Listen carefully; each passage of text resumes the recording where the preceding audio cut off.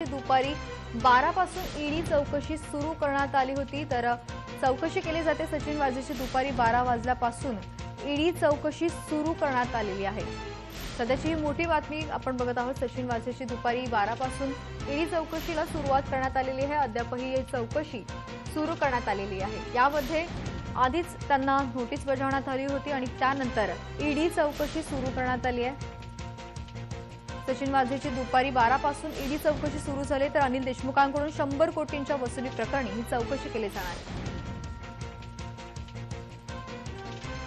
या सगळ्या संदर्भात अधिक माहिती जाणून घेऊयात. आपले प्रतिनिधी संजय पिळणकर आपल्यासोबत जोडले गेलेले आहेत. संजय काय अधिकची माहिती काय अधिकचे तपशील? कारण की ईडी चौकशी सुरू झालेली आहे.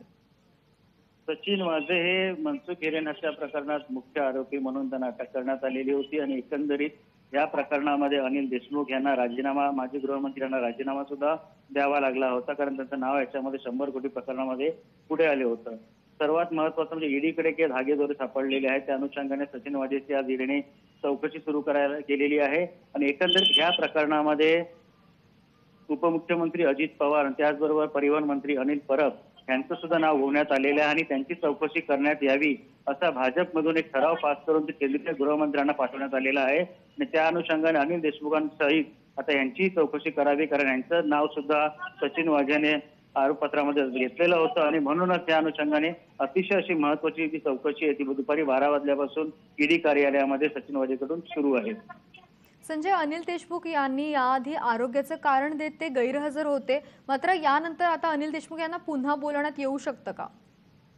अनिल देशमुखांच्या वकील या संदर्भात ईसीआर रिपोर्टचा जो ईसीआरचा जो वकिलाने आणि ईडी कडून परंतु त्यांनी द्यायला नकार दिलेला आहे. जर त्यांना तो अहवाल पाहिजे हवा असेल तर तरी स्वतः इथे येऊन मुख्यतः ईडी कार्यालयात हजर होऊन त्यांनी तो अहवाल पाहावा असं त्यांनी सांगण्यात आलेलं होतं. परंतु एकंदरीत जरी त्यांना तुमचाच तरी दिलासा दिलेला असला तरी सुद्धा ईडीकडून त्यांना पुन्हा चौकशीला समन जे आहे ते बजावण्यात त्याने कुठल्याही क्षणी त्यांची चौकशी केली जाऊ शकते एकूणच बघायला गेलं तर आता पुन्हा एकदा या चौकशीतून नेमकं काय समोर येणार हे पाहणं महत्वाचं आहे. संजय तुम्ही दिलेल्या माहितीबद्दल धन्यवाद.